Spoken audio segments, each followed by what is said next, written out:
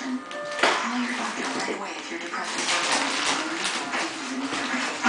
thoughts of suicide. Antidepressants can increase these in children, teens, and adults. Cymbalta is not approved for children under 18. People taking MAOIs or thioridazine or with uncontrolled glaucoma should not take Cymbalta. Your doctor about all your medicines, for migraine, to avoid a condition.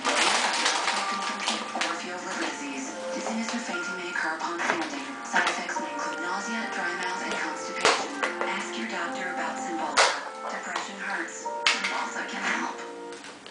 I sent Julie an edible arrangements bouquet.